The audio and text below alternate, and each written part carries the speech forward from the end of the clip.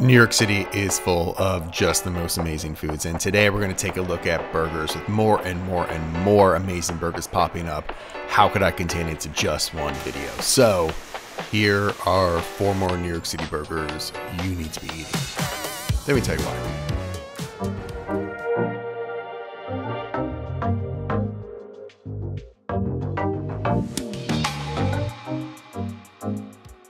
Inside of the Arlo Soho Hotel is Lindens and this insane double smash burger. You guys know I'm very into smashed right now. On each patty goes a slice of white American cheese. I mean, cheese. It's then stacked into a bun with a special burger sauce, grilled red onions, and a cherry pepper relish. You're just getting like perfect layers of fat with that beef, with that cheese. And then to counter that, you have that relish and a little bit of sweetness from the onions. Just like all flavors coming together in one. Mm. Good bite. Oh my God.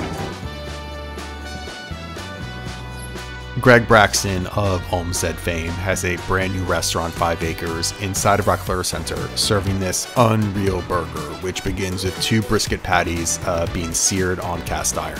Toast alongside that is a house-made brioche bun. Once the patties are flipped, um, they're topped with red onions and two slices of raclette cheese. While that finishes in the oven, uh, in this bubbling pot of veal jus soaks a slice of that same brioche.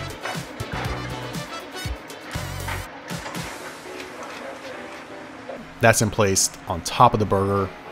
Just wow. Not done yet. Let's talk about those hand cut french fries that are served alongside with a, wait for it, oh my god, foie gras hollandaise. This burger's crazy. I mean, it smells just unbelievable. Oh, man.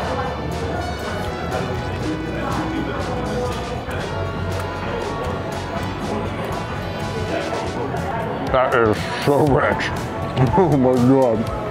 Mmm. I'm like trying to find the words, but I can't. Having that soaked bun in the middle with that jus is just like an intense punch of flavor in the middle of that whole bite. Oh my god. Nice little sweetness from those red onions, great fat and salt going on in the middle of the burger too. Oh my god. This is wild. Mmm. Mmm. Mmm. I'm also excited for this foie hollandaise. Hello. Never heard of that. Let's get in there. Ooh.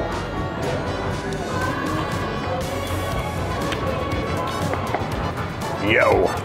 The texture that they got out of that foam is like so light and so airy. Mmm. It's a great mouthfeel while being again a super rich, insane. Mm, you know what I want though? Let's dip that burger into that flop. Ooh. Ooh. Mmm.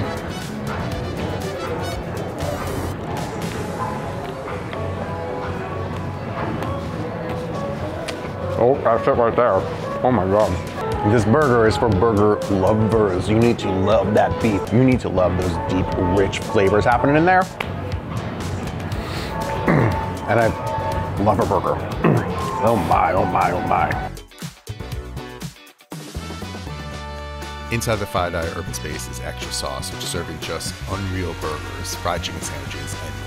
I got two of their burgers. Uh, they both start with two smashed patties on the griddle, super thin, being topped with the best American cheese until it's all melty melty. The classic burger then goes on a butter and toasted potato bun with their Brooklyn sauce, onions, and pickles. But then the signature smash goes onto a bun toasted with butter, garlic, and parm. That's topped with a gochujang aioli and miso caramelized onions.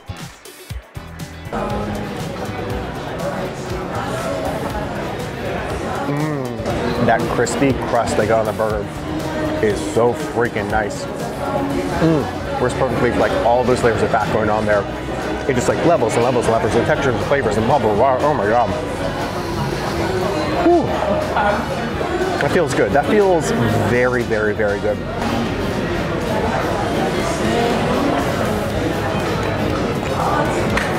Oh, fuck. Mmm. That was just like a thousand flavors hitting me at once. Jesus. Mmm. I went gochujang aioli on everything. On everything. I mean, the garlic parmesan butter on there, the fat from the burger, the fat from the American cheese. Nice little sweetness coming from those onions too. Oh my god. Dude, no, you like have to eat this burger. Have to eat this burger. Oh, Jesus. Mm.